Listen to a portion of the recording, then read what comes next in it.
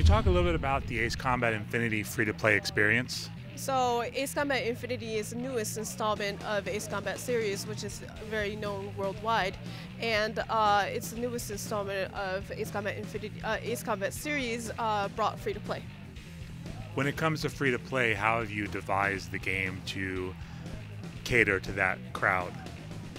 Actually, the core gameplay mechanics has not changed from the series, uh, even though it's been changed to free-to-play. Uh, the free-to-play part is in, for instance, how uh, the users communicate with each other, or how uh, they go on building, the, uh, going and advancing with their aircrafts and like customizing them, for instance, and using that aircraft that they created and communicating with each other. What role do microtransactions play within this game? As for the monetization, it's actually difficult to explain um, before actually um, knowing where the quality of the game is. Uh, we have put the monetization in and adjusted it after the worldwide beta that we did in February, and um, the monetization is there so that uh, everyone will be actually able to actually pay for what they believe the quality is in there. When it comes to the actual gameplay experience, can you walk us through the multiplayer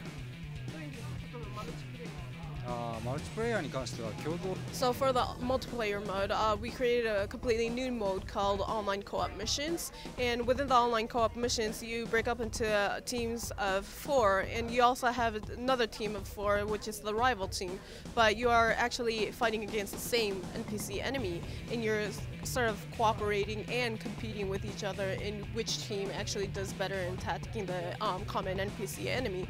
But um, it's online co-op missions, but as I mentioned, it's kind of competitive as well. Um, you could actually tie up with the rival team or tie up with your, um, you know, teammates as well but you, or else or you could choose to just go on and kind of compete with within the team as well. It's up to the players and that kind of freedom is still in there even though it's um, co-op and that's how our multiplayer works.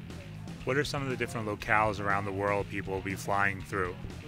So wrapping up what he was just saying is that uh, actually we have, uh, apart from the online co-op missions, we have a new uh, story campaign mode as well, and the stages are linked to each other. So the stages that are in the um, campaign mission is also used for the um, online co-op missions map. But as for cities and stuff, we do have Tokyo, we have places in uh, Turkey, for instance, and um, U.S. is going to be in there as well. And uh, there will be um, cities from worldwide, but it's going to be in the time. Uh, story is set in like the near future, so it's not exactly the same, but that kind of experience will be there. Can you talk a little about the actual story itself and, and, and what's going on in this world?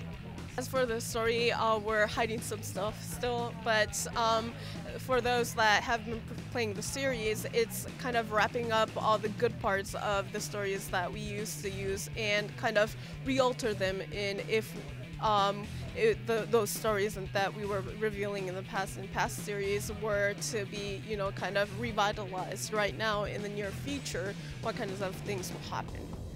Can you talk at all about some of the different planes that will be featured in the game? Um, of course, that's um, one of the key features within Ace Combat series, and um, as always, we do have a lot of real-world uh, aircrafts uh, within the um, game, as well as uh, fictional aircrafts, the original fictional aircrafts that the team made. So Ace Combat Infinity is coming out next month, May 27th for US.